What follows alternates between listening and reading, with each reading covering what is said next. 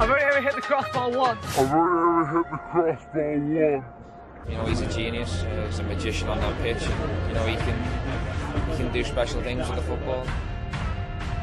Oh, incredible. Honestly, an absolute nightmare to play against, I must say. Uh, thankfully, I don't have to play against him every week.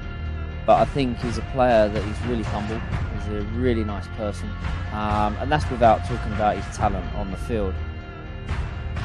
Every time you turn the TV on, he scores sort of two goals standard at the moment. Go on!